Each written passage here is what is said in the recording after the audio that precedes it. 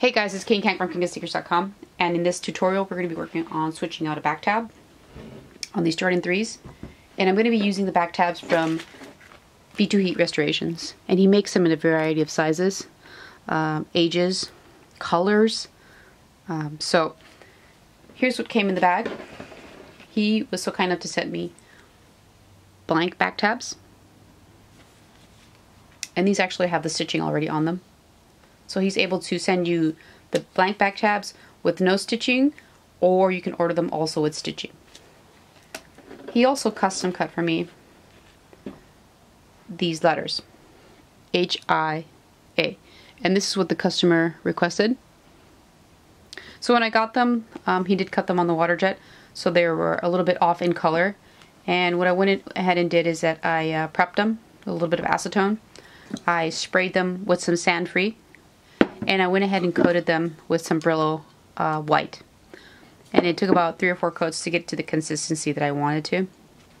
And all I did is put them on some um, gaffer's tape. Now these letters that, that Billy sends to you, they come with an adhesive backing that you can just quickly stick them on uh, to the tab. And we'll get to that right now in a little bit. He also made me this custom um, hang tag as well. Now this one's a little bit smaller than the the original Nike hang tag. I think the Nike hang tag is like um, uh, two and a half inches by two and a half inches. This one's only about two inches, but I think it works better um, as far as scale. Um, and this is something he did special for me. So anything like this, you'd have to custom request from Beat 2 Heat Restorations and then work with him with the graphics. This was just plain enough because it's just the fonts. Pretty easy enough. Um, and that's something that uh, you'd have to work with him to see if how long it would take to get that done. And he can give you a price as well. So what I'm going to do in order to get to the next step is that these already come with some back tabs already on them. And because I want to quickly move forward and do it fast, um, and I also want to show you um, a step if you were to switch it out, this Jumpman one for the Nike one. Um, so I'm just going to, instead of sanding this off and then just applying the letters onto this one, um, I'm going to be using some that he already supplied for me, which he's already so generously sanded here, and you can see that they're already ready to go. And so on here, I'm going to be adding so, uh, the letters to this one. Like once you've uh, see, I am going to pre-sprayed uh, mine. I'll just stick them on some gaffer's tape, so you can see as I um, and then I this. sprayed them all around. And this is what they look like once you, you pluck them off. You might have to um, make sure to rub away any excess paint on the sides there that may just have built up because I did add a, quite a few coats to it to get it to this nice glossy finish. Um, so once you get them, you could just stick them down.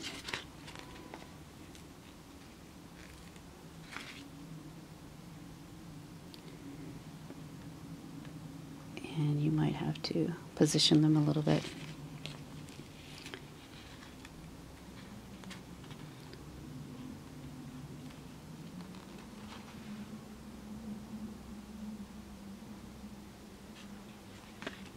There. So let's get this one down. And then you can you can eyeball it. So I just want to make sure that they're in the right spots before I press down.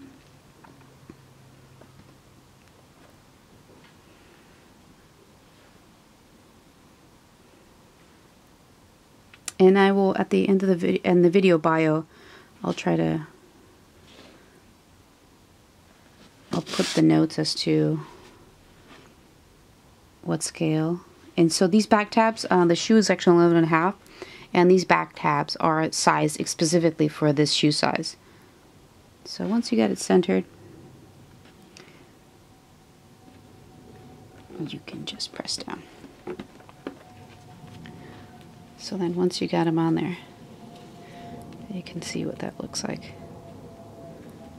Make sure they're on there.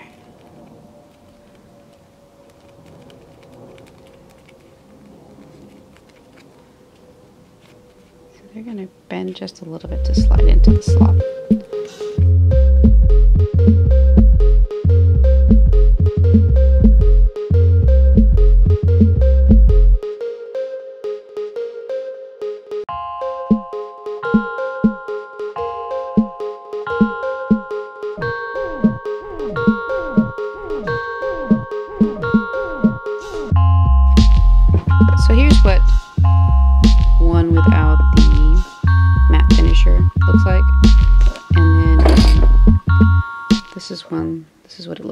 With the matte finisher on there. So it evens out the sanded portion. This is also this also works if you are going to sand this off, this, that off, and then you have the sand marks.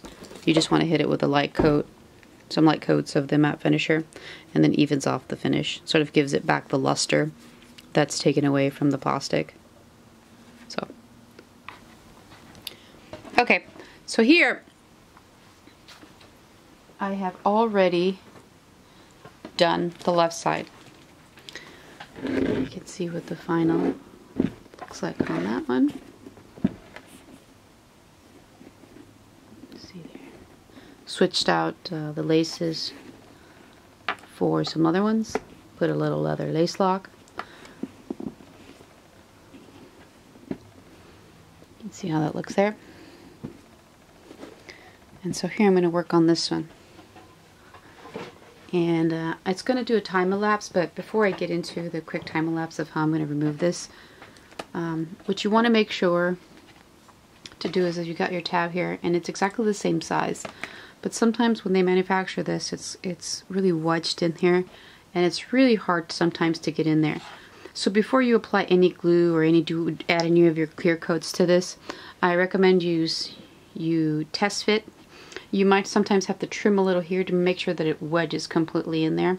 So before you do any of the clear coating so you don't get any fingerprints or anything on there or, or maybe smudge a little for some whatever reason, doesn't dry all the way the way you want it to, uh, you want to go and make sure it test fit.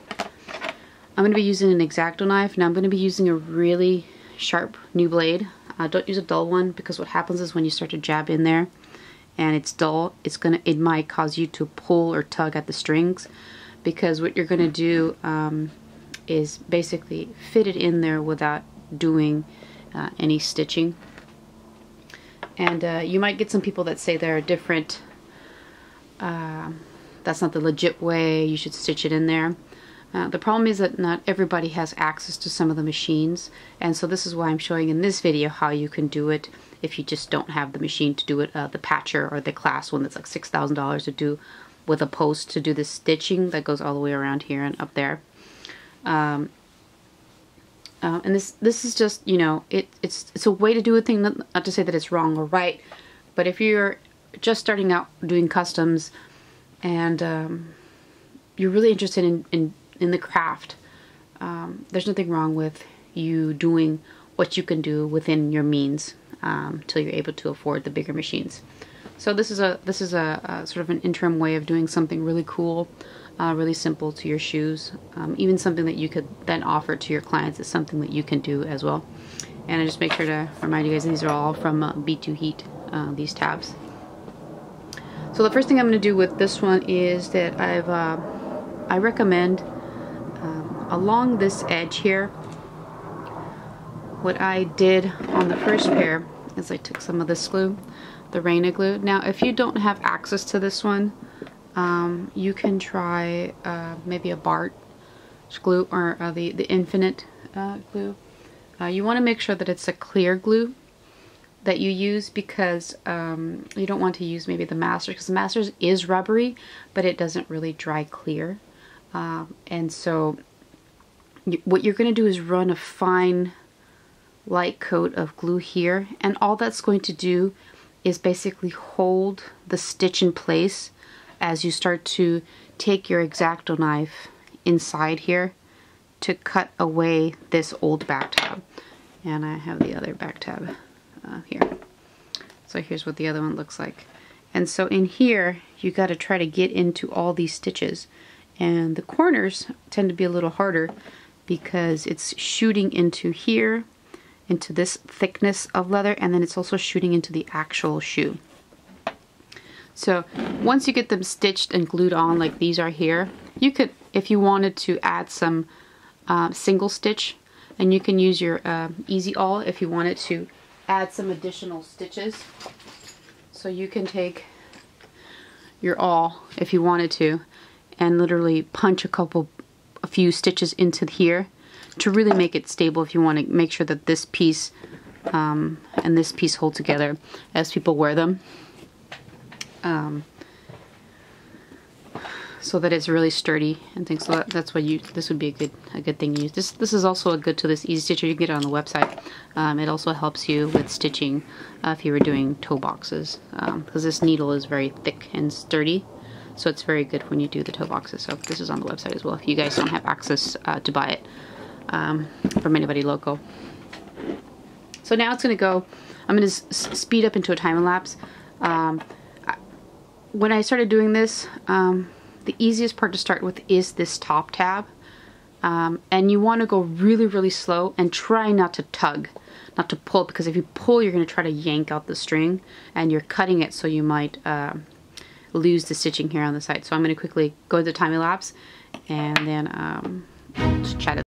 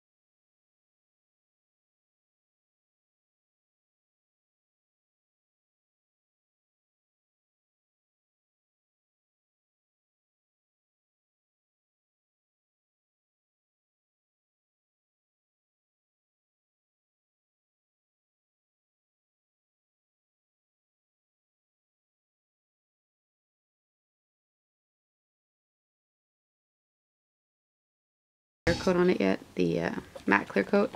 And then I just want to make sure to test fit before I put any kind of glue on there. And you can see that it's a very good fit. Look at that. Perfectly covers up everything. And then you still have got all your thread intact because you put the glue.